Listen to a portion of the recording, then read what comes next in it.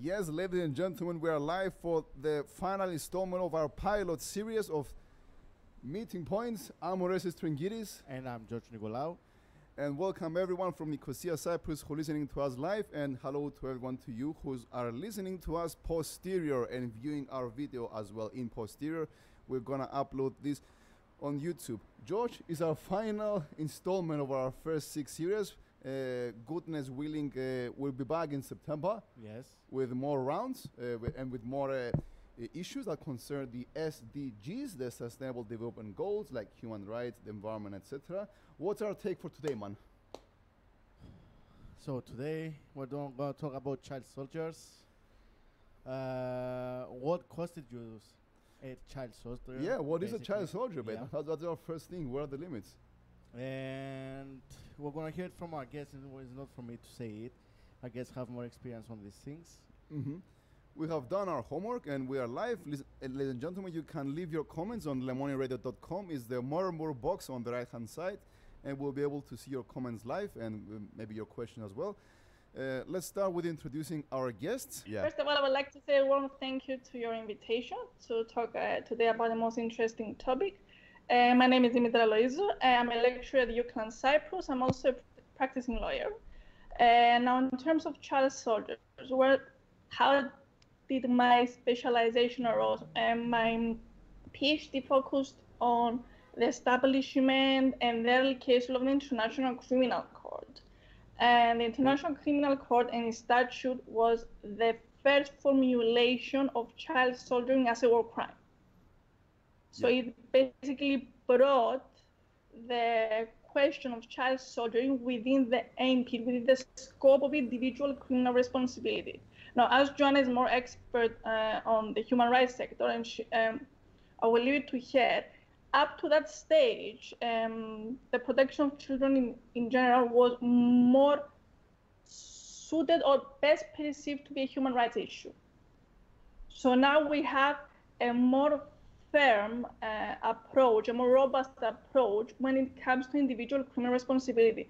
Uh, how does someone who recruits children voluntarily or involuntarily may end up before the deck? So this is what I've been doing, and interestingly so, uh, the war crime of child soldiering is one of the most commonly charged charged crimes in the ICC. Now, all of the verdicts up to date, but one, have included the war crime of child soldiering within the charges.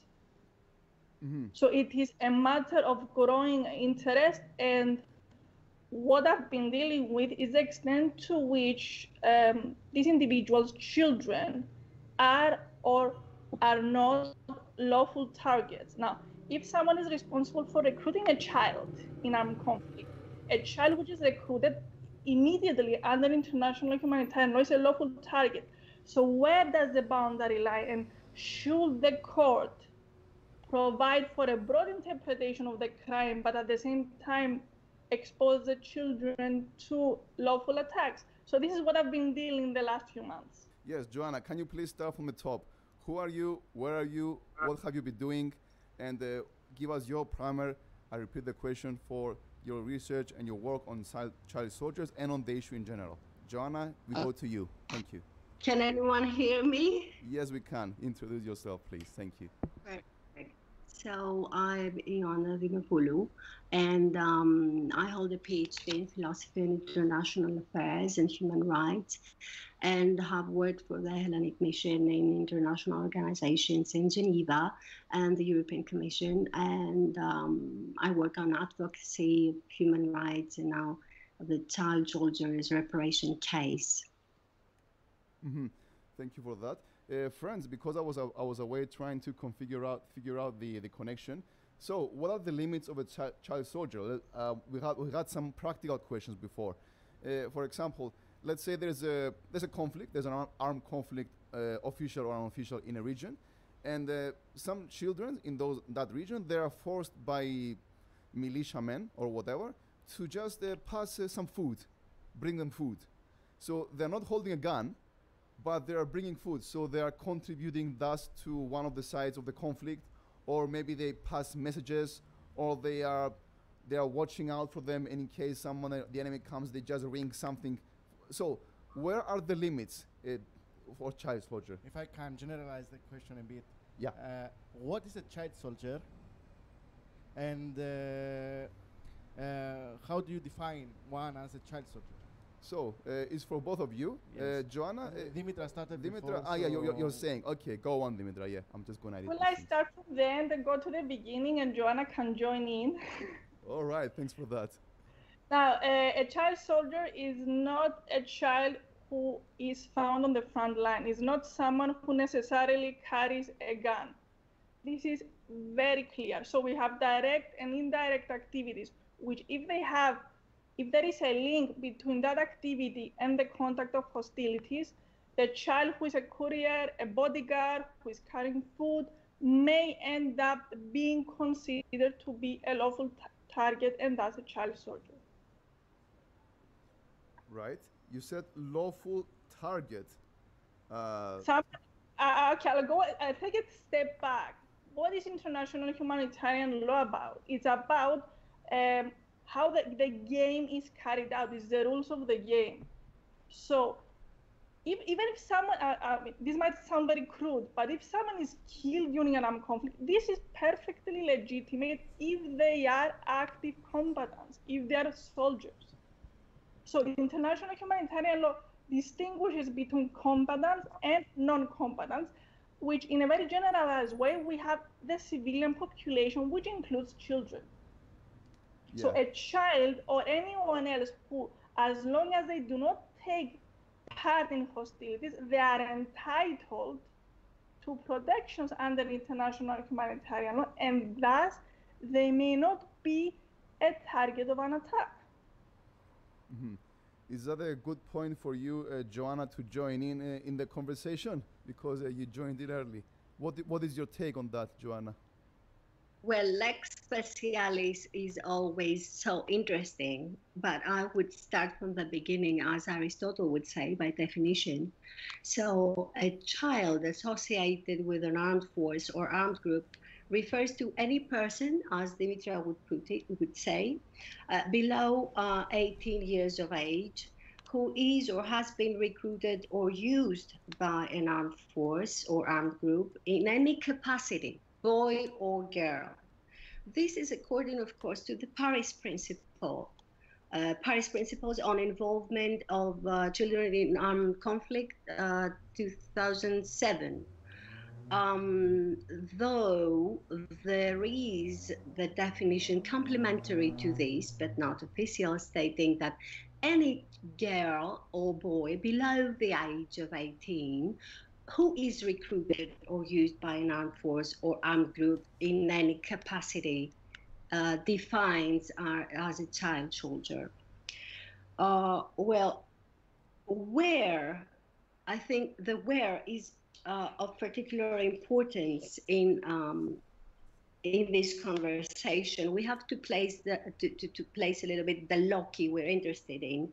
So, according to the 2020 report of the Secretary General of uh, Children and Armed Conflict, there are 57 non state actors and seven state actors uh, responsible, uh, responsible for committing grave violations affecting children in situations of armed conflict, although the phenomenon um, is going on in over 20 countries in elaborating further on the where, on the specific geographical area uh, of the after Arab Spring countries, which concerns us on our file on child soldiers, uh, the child soldiers' right to reparation case, I have to give some uh, explanatory fact, right? So, uh, the estimated number of foreign fighters in Iraq and Syria alone since 2011 is set between 30,000 and 42,000 a significant number of which have been minors.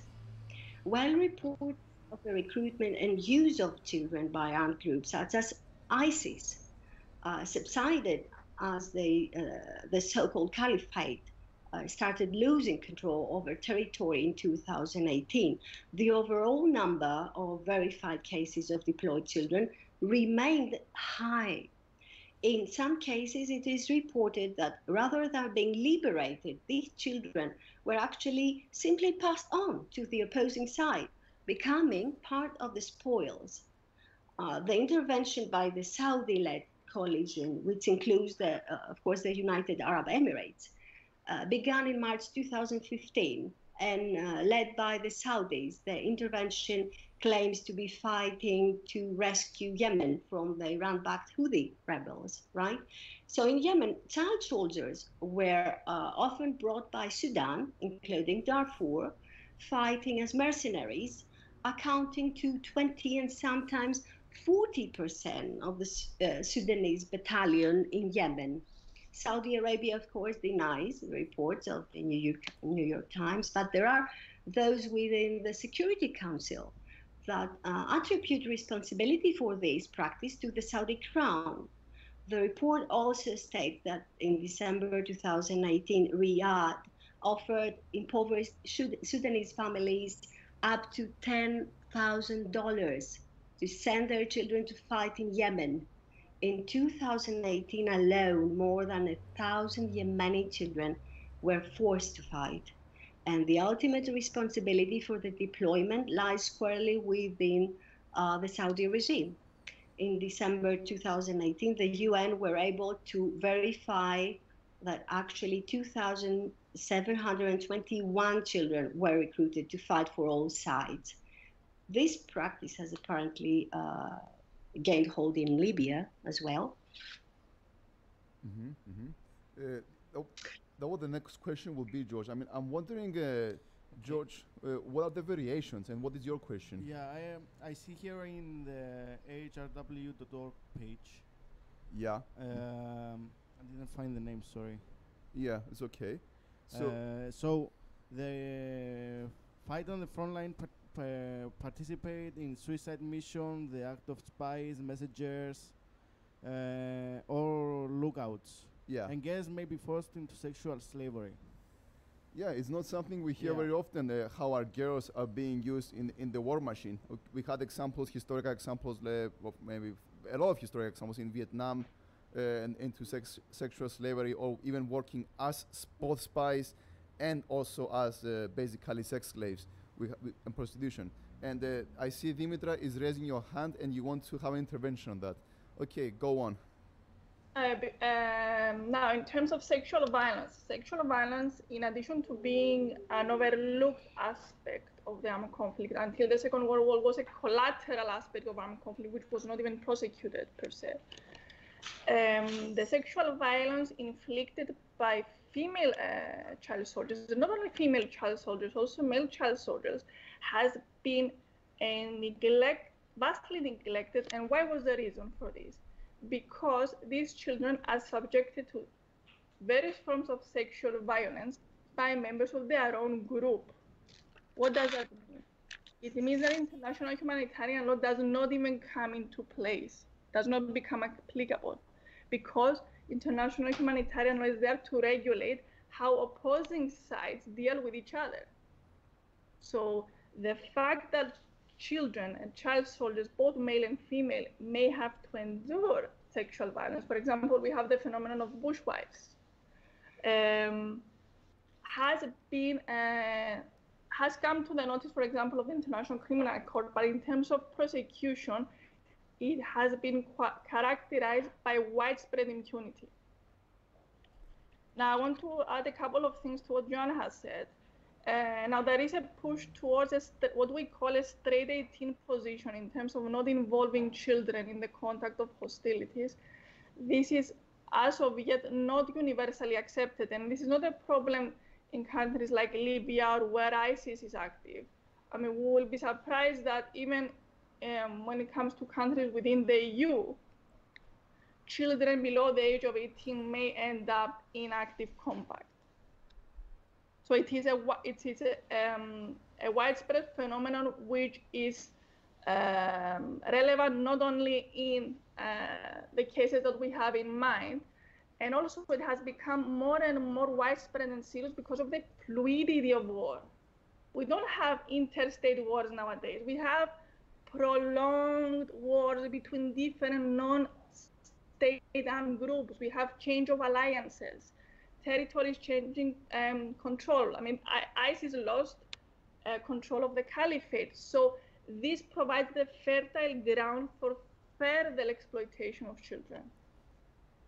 Wow, that, that's very tough to hear. Yes. And especially with this. Uh, are there any exemplar uh, court cases that have been going or, uh, or in the past? Uh, I'm, I'm addressing this question to you, Joanna and Demetra, where there has been a landmark change uh, in, the, in the situation that actually helped the child soldiers.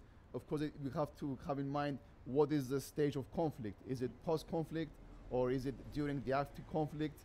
So, Joanna, what is your first take on that? Go on, Joanna. Well, with the Rome Statute of the ICC, I have to go back to the, uh, the history a little bit. Uh, the rights of victims of serious violations in international law were affirmed. For the first time, victims were, uh, victims were acknowledged as stakeholders in international criminal proceedings, and numerous articles related to the right to reparation bear evidence to this effect.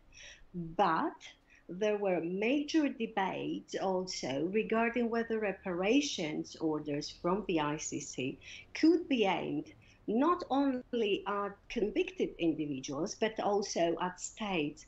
States were uh, worried of the potential inclusion of state responsibility um, in the context of reparations, and the exclusion of such reference was a compromise to ensure the approval of Article 70 uh, 5 of the Rome Statute. We have to note states suffering from, uh, as Robertson would put it, human rights amnesia here uh, deliberately declined to uh, actually allow ICC to order reparations against governments. And as uh, stated, uh, this omission um, reflects one of the key witnesses in the current philosophy behind the international justice movement, which denies the uh, existence of collective responsibility in order to fasten upon the blameworthy individual. Where crimes against humanity are concerned, the two are not mutually excluded. And that's the sure thing. So in the ILO case, um, May had to compensate 427 child soldiers recruited by the Congolese warlord with $10 million um, though state responsibility entails positive duties and may uh, also be incurred when the state has omitted or failed uh, to demonstrate due diligence to prevent violations. Right. Thank you, Joanna. Uh, what is your take on that, uh, Demetra? Do you have a comment, something to say, comment, or before we go to the next question?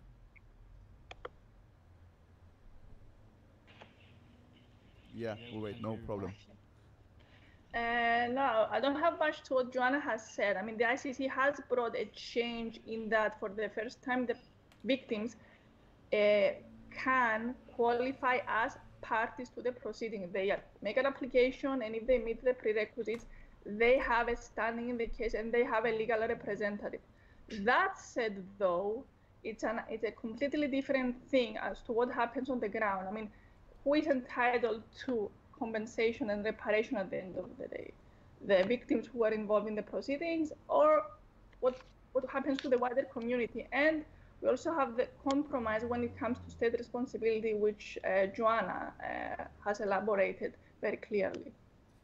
We live in an era of prolo- prolonged conflicts, as uh, Demetra and Joanna we, we, both said before, and uh, there are many complications. I understand you said before, uh, uh, Demetra, that uh, war, the warlords changing sides or the, the losing side has to ba basically give up their children by force to the winning side. So my question is, what happens to the case in the case of reparations by states when in conflicts where there is no official participation of state level actors? What happens to the cases where there is conflict, but uh, the responsibility of a, sta- of, of a recognized state is, is, not, is not very clear. What happens to those cases? Or what happens, let's put it easily, what happens to wars that there, not everybody agrees it's a war, to put it this way. So if it's not a war, that means uh, the international law may or may not apply, or some stakeholders may consider or consider that the law should apply or not apply in this case. Uh, did I did I make any any sense? And Joanna, if you want to take it on from here, yes, take it on. Joanna should uh, be the one to step in here. All right then, Joanna is yours. I assume she's more uh, much more focused and familiar uh, with the reparations than I am. Yeah. Well, thank you for this question, uh, uh, both of you, the three of you. Uh, well, regardless of how children are recruited, whether abducted or recruited as foreign fighters, and uh, of their roles, um, uh, of, and re- regardless of their roles, uh, child soldiers are victims, although treated as survivors, which is well respected but not a legal term to generate legal results. So until now, we were just hoping on a long healing process of reintegration. But jurisprudence on reparations by human rights courts and entities do set important precedents and standards. However, major challenges um, are uh, visible in their limited and, um, let's say, stretched capacity to monitor compliance by states. Comprehensive measures are required to be undertaken at the national level in order to ensure that the number of beneficiaries is expanded and that the most vulnerable victims are identified and prioritized when it comes to redress claims. In uh, Prosecutor versus uh, Dyilo versus Thomas Lubanga Dyilo uh, case, is uh, um, elaborated in depth um, the how reparations proceedings should be improved, especially during the implementation uh, stage.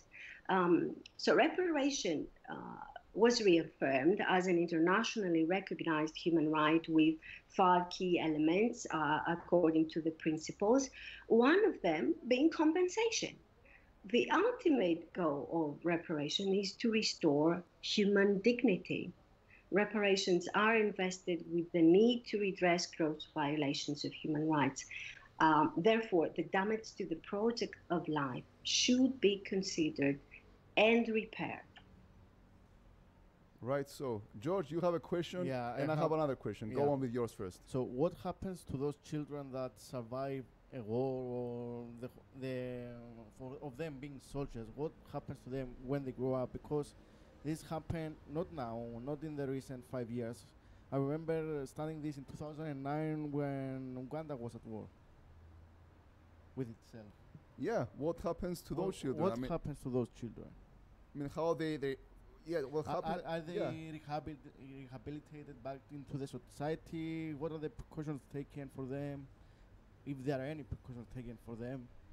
Are there examples, or are there is there any uh, movement to uh, make states in international law to stipulate that you also have the responsibility to rehabilitate rehabilitations beyond reparations?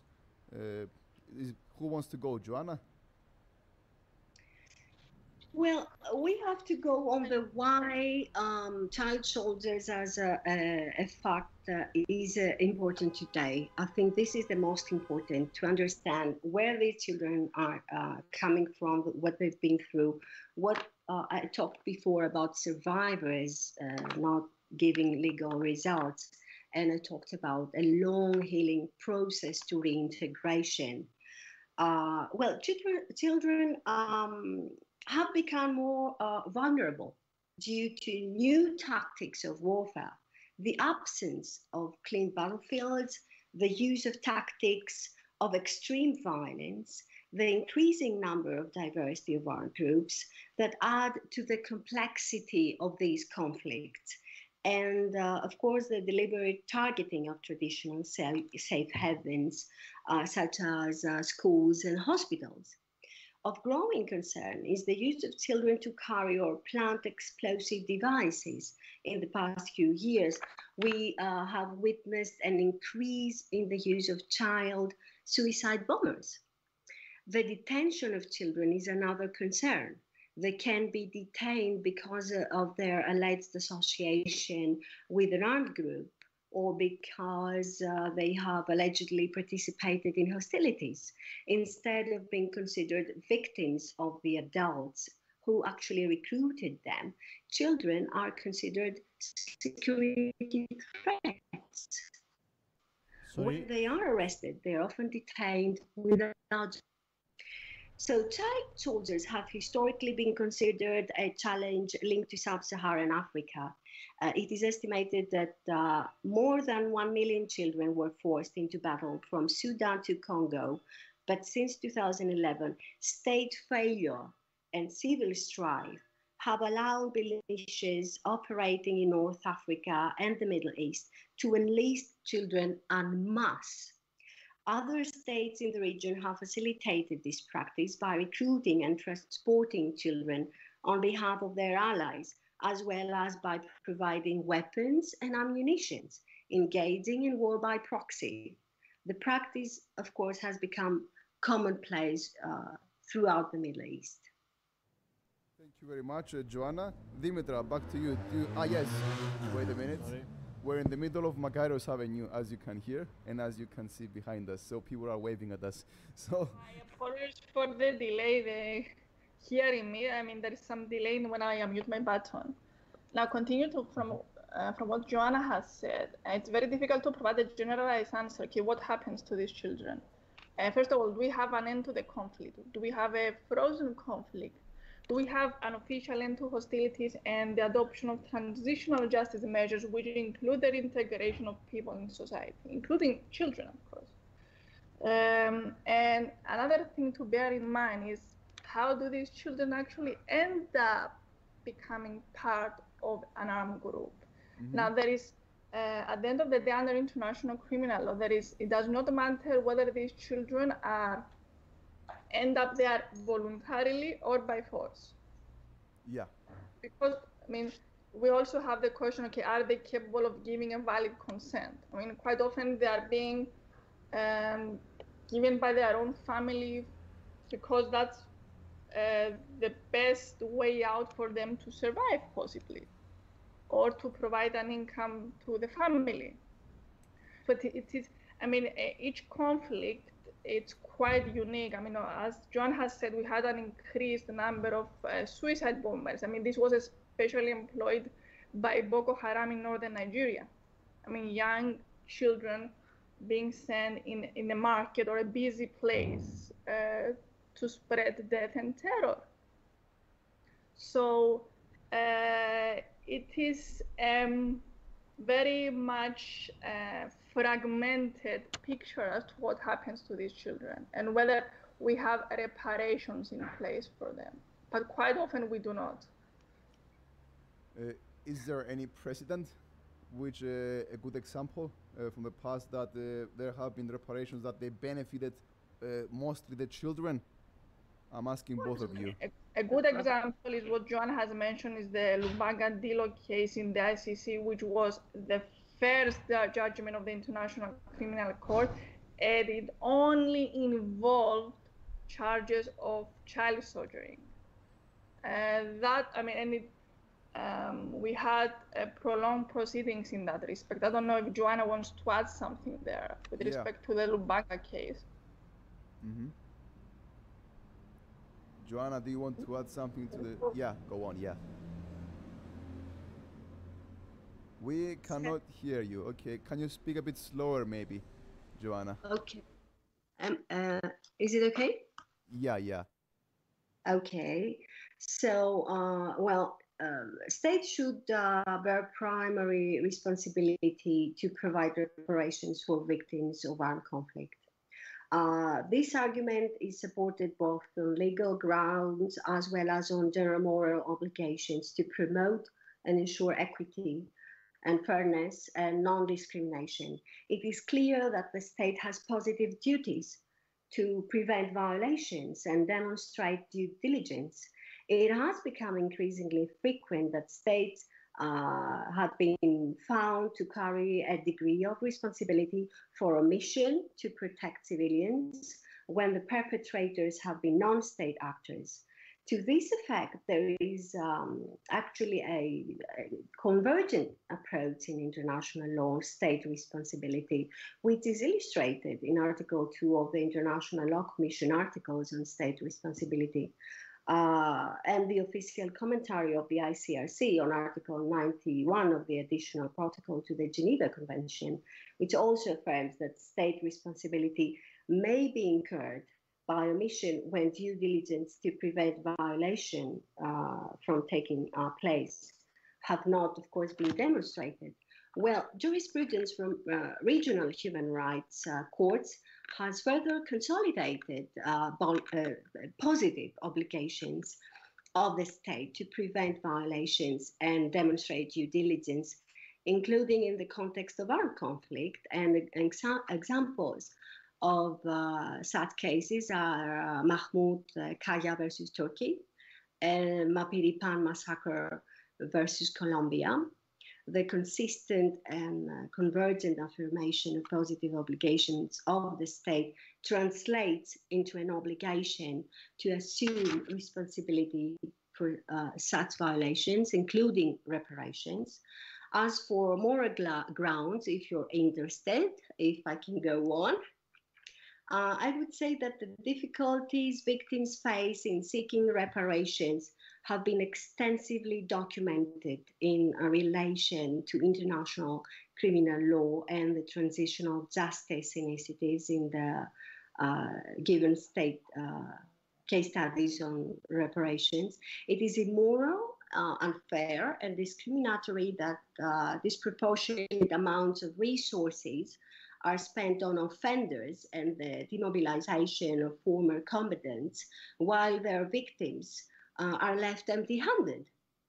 Uh, as noted in the report of the Secretary General on the rule of law and transitional justice in conflict and post conflict societies, uh, states have an obligation to act not only against perpetrators, but also on behalf of victims, including uh, through the provision of reparations will have been our so thank you, thanks man.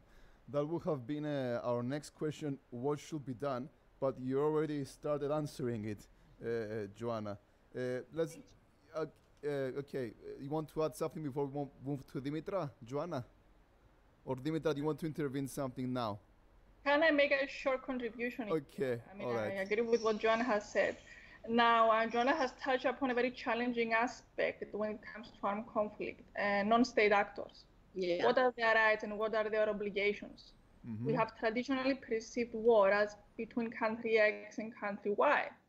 Now, the vast majority of armed conflicts mm-hmm. are inter- are taking place within uh, state borders, and they involve they, sometimes they involve only non-state actors.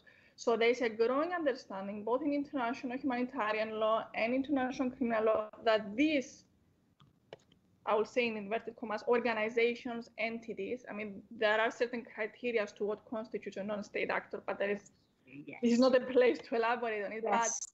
But mm-hmm. they have an increasing number, not only of rights but of responsibilities as to how they behave during an armed conflict.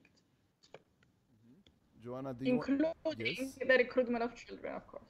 Including the recruitment of children, right? Joanna, what was your take? Take it on from here. Uh, excuse me, I lost you a little bit.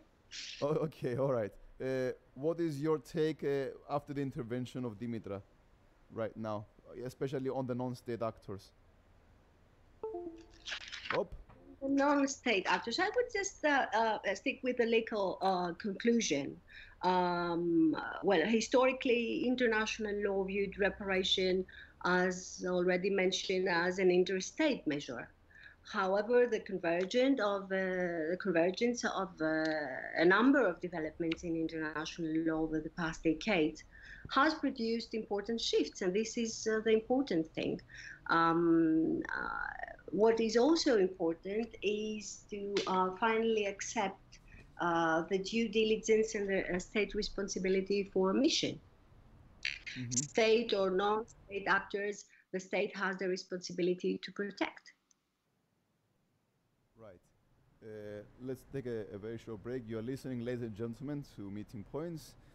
Every Monday, or about 6 to 8 Cyprus time, uh, it's me, Orestes Tringidis, and I'm George Nicolau. You can ask your questions for today's uh, show. subject Mhm. or show to, to mobibox at lemoniradio.com.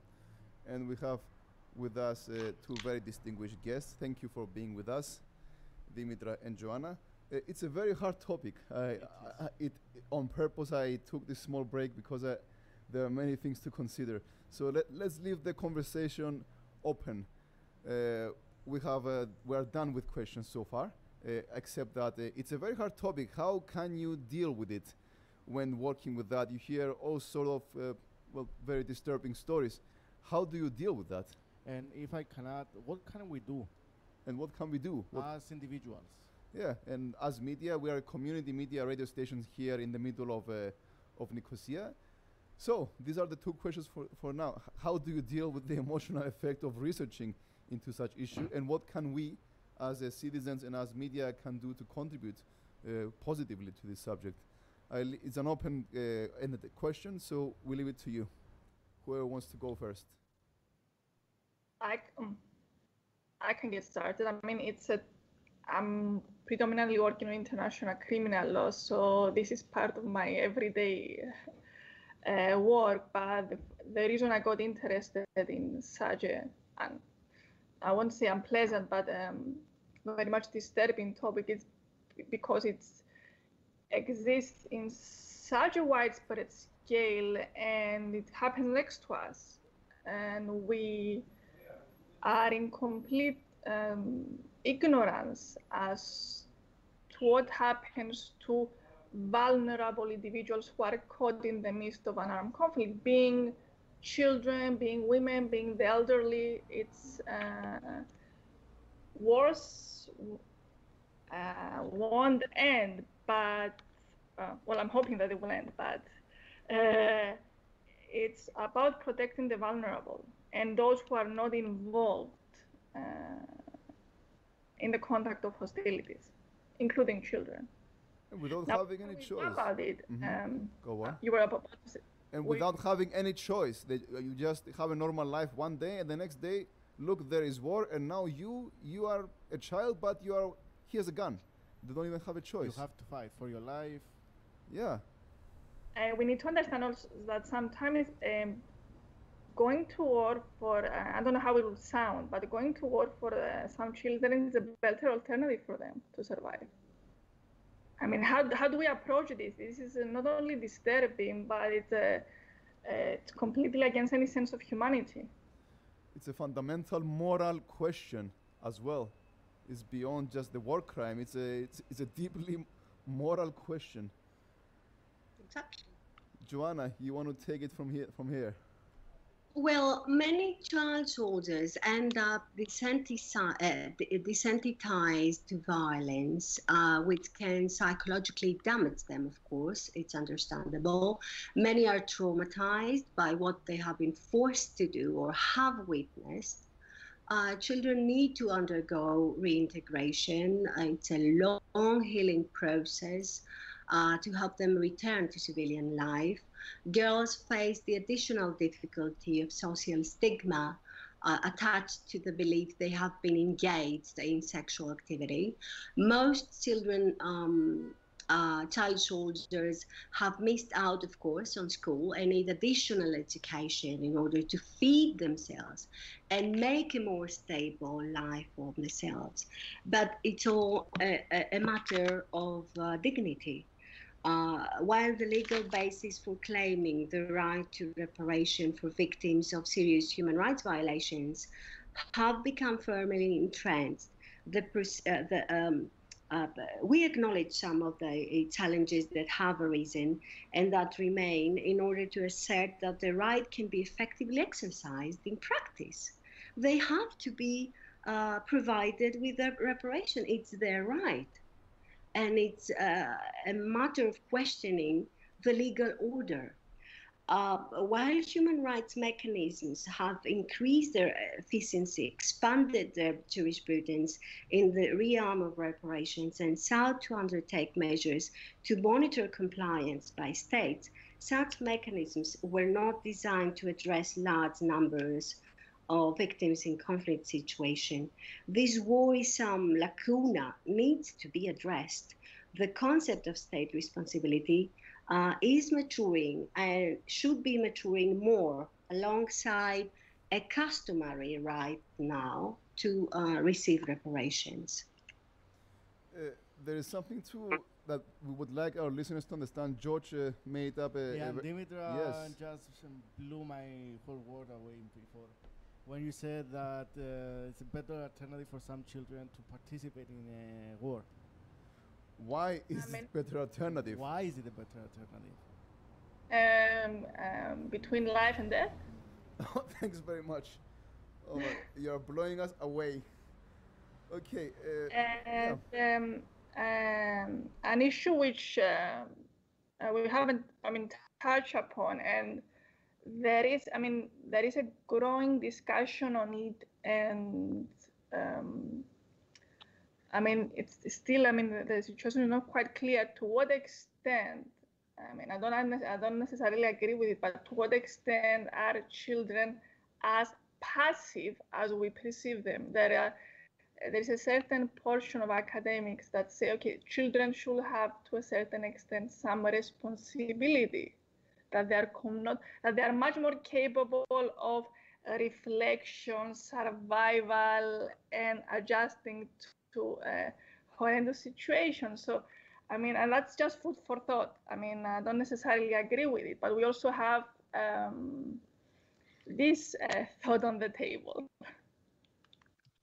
So I'm sorry, Geo- George, if I am, if this sounds even more disturbing. yeah, it's it's a very difficult subject, and we knew this.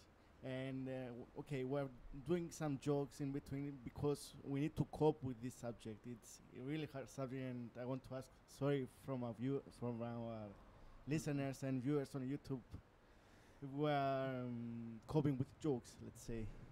Yeah, so speaking of, of jokes and us being on this side of the table and you two being on the other side of the table, how does media deal with this issue? So, what would be your your critique on media uh, on covering any conflicts and the involvement of children, fairly or unfairly? Because, for example, I understand that there are war childs in Cyprus too. In my neighborhood, I know there are children who came from Syria, from conflict societies their parents uh, they have been forced into conflict and they are since then missing and uh, they, they are being considered as basically war children. Maybe they had an involvement. So that's that's, that's one uh, subject that the media sometimes takes upon. So what is your critique? Because you are from the legal perspective from your academia perspective what is your critique on media? What are their what are they missing out on when on when they're approaching the issue of child soldiers. And uh, whoever wants to go first, please do. And you can also crit- critique us as well, or Resident George. Your criticism towards us is welcome. Recently missing out is, for example, children coming from um, neighbor, sorry, nearby countries like uh, Syria and Iraq after the fall of the ISIS caliphate, and um, I mean the extent to, I mean, irrespective of the extent to which these children were involved in war, there is a tendency, or I would say, tendency for overgeneralization. Oh, these children were indoctrinated. These children uh, will be prone to such contact in the future. Uh, these children should somehow uh, be dealt with. But I think the EU as well, even though it has uh, followed a consistent approach in agreeing with the ICC and the IHL framework, it has yet to adopt a uniform approach as to what happened with the returnees, um, both adults and children who return from adult, uh, from conflict zones. So my my, my uh, I mean, um, in order to like uh, uh, reach a, a final point is I think there is a lack of a comprehensive framework as to what happened with people who come from conflict zone, whether these are children or adults. But in the last few years, due to um, the advent of ISIS and other forms of extremism, uh, there has not been an adequate care with respect to properly reintegrating and taking care of these children. Now we have spoken about child soldiers, but going back to basics, going back to the Convention of the Rights of the Child is about allowing a child to fulfill its development in terms of education, in terms of knowledge, in terms of activities. So we should place the child soldier phenomenon within this, within this broader context as well. Uh, you started, uh, first of all, Joanna, would you like to add something before we move on, move on to the next question? Well, I, I, I would just um, like to stress that uh, children associated with militias and armed groups should be treated primarily as victims. They were uh, uh, victims be- before they uh, became perpetrators, and before all these, they were children. Children who have been abducted, recruited, uh, used, exposed to violence at an early age should not be rehabilitated in brackets, but should also be empowered, provided with a clear reparations entitlement. All right. Uh, uh, we, we started discussing. Uh, sorry. There's Wait a a minute. bag outside, sorry. Yeah, there's a noise. Demetra, you started uh, the, you started uh, your critique. You, ext- you extended your critique. Sorry, to the lack of a common framework. So, us being a, an EU member state, what is lacking in the EU legal frameworks right here, and also application uh, to protect uh, those children or uh, the issue of child soldiers? And you like- generally in the United Nations, because it's the largest frame of, uh, of uh, states, the United Nations. yeah, also in that frame as well. Now, Uh, in terms of the EU policy, and, now, and this are not, does not only concern children, it concerns uh, the phenomenon of returnees, also returning foreign fighters. The EU has found itself in a difficult position in the last few years as to how to deal with these people. Sometimes it has refused to take them back. Sometimes it has allowed them to be transferred to other countries for trial. Sometimes it has taken them back. So this is what I mean. I meant beforehand with uh, the lack of a comprehensive framework. I mean, um, Joanna, I think mentioned it beforehand. Um, a large number, maybe I don't know if it's the vast majority of foreign fighters who went to conflict zones came from EU member states, traveled from EU member states to go there. uh, Joanna, Now- yes, uh, Demetra, go on. Yeah, you want to add something? Now, in terms of the UN framework, um, the UN framework, we have a number of fronts there uh, trying to take action, but it is a larger organization with its uh, pros and cons. We have the Convention on the Rights of the Child and obligations arising therein. We have the Commission, the High Commissioner on Human Rights. We have the Secretary General's um, Undersecretary for Children and Armed Conflict. There is action taking place on many fronts. Should we go to, to Joanna now if you like something to add? Joanna. Yeah, sure. Um, uh, thank you, Demetra. Um, well, I would just have to add that the comparison of jurisprudence of the international and regional human rights systems uh, reveal uh, reveals that the, the approach to uh, reparation varies considerably depending on the applicable provision on reparation, uh, as well as the mandate and interpretation given by the relevant committee, court, or commission. Uh, clearly, the regional human rights courts wield great advantages in their authority to order legally binding judgments. Uh, this has resulted in a significantly high compliance rate on reparations compared with the United Nations treaty bodies. Uh, although the jurisprudence contains variations, uh, there is convergence uh, within the international and regional systems on key points, such as the affirmation of positive obligations of the state and the responsibility to prevent and protect against violations, including those committed by non state actors in the context of armed conflict. Um, the international and regional systems also differ regarding whether they consider individual or collective reparations measures. The United Nations Treaty Body system considers both aspects while the decisions on individual petitions tend to take a restrictive approach, a more collective policy oriented approach is applied in the recommendations contained in concluding uh, observations. Um, the European human rights system is faced with a sharp increase in cases, of which an increasing number uh, have occurred in the context of armed conflict.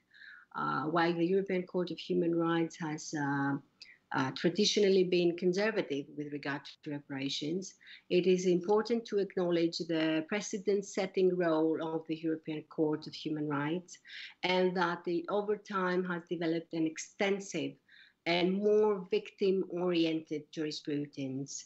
It is gradually moving towards emitting policy oriented judgments in order to address the overlap and backlog of cases, of course. Um, and then the international, um, uh, the inter-American human rights system uh, has been uh, of key importance, but I won't go any further. Well, we have five minutes, man. What do we do? What? How do you feel, first of all? Uh, I'm feeling really depressed right now. It, it was a hard subject today, and we knew it. We knew it. I, I, we said before, are we gonna be able to tackle it? I don't know if uh, Demetra and Joanna think we have done a good job or not. I asked you before. Can I add a positive note? Please, yes, please, Yes, yes. yes. we need that. I mean, 20 years or so ago, it would have been incomprehensible to say that someone could be convicted for the war crime of child soldiering. Now it is firmly a part of international criminal law and uh, arguably international customary law. So we are going in the right direction one way or another in terms of um, trying to deal with impunity, but there is still a long way to go. Uh, and of course, also uh, when it comes to reparations, that uh, has uh, very clearly set out previously. Huh, the long way to go. So the future. So what are the next steps? What should be improved? S- And uh, with the what was the work needed to be done, not just on the legal level, but what do you expect also from us, as uh, people with two microphones and uh, putting things on YouTube? Your lights. Well, first of yes, go on. First of all, uh, uh, interviews like today's, um, it has been a, um, a unique opportunity to, for me to talk about uh, child soldiering. It's not something um, I've been speaking about Cyprus that, that we come we, we discuss frequently. I don't know what's your take on it. I mean, you are uh, on the other side of the microphone, but I was quite surprised by the invitation, pleasantly surprised by the invitation. Well, we're pleasantly surprised at both of you uh, for coming here, and we would like to, before we we go to the concluding remarks, we we both like to repeat our thanks. Joanna, what is your concluding remarks for the last uh, couple of minutes we have for the show?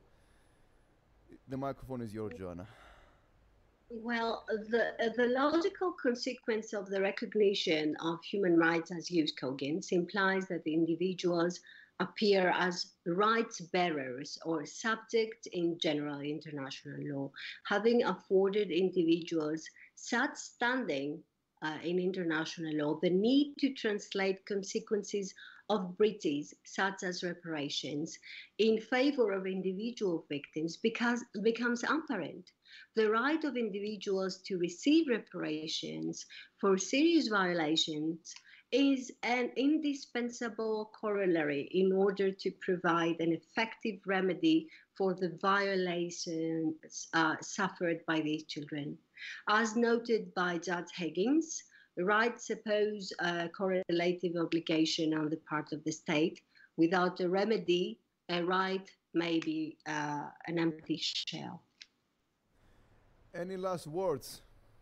Anyone? Uh, you, Dimitri, yes. you have a last word. Okay, go on. Just a concluding remark on reparations. I mean, we, we have taken it for granted, but reparations takes many forms. It's compensation, uh, an individual receiving a monetary value is restitution, trying to bring the individual to their original situation as much as possible. It's a guarantee that something will not occur again. So, what, what we perceive as reparations is a multi-faced uh, tool which can be adjusted according to the specific conflict and the circumstances of the conflict or the individuals who have suffered in that conflict.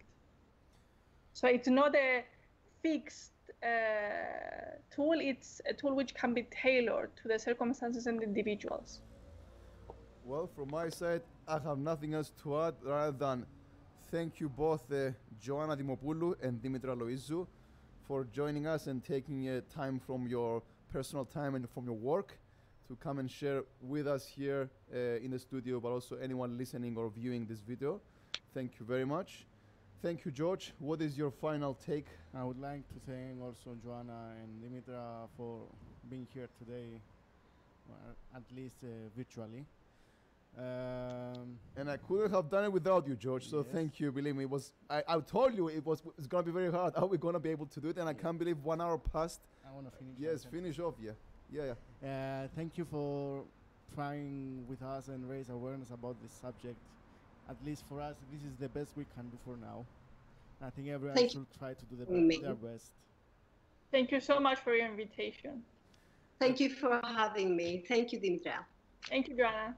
And thank you for to our listeners for bearing with us and to for taking things in. And let's hope for our best. I hope uh, we have done a decent job here, all the four of us. Okay. Absolutely.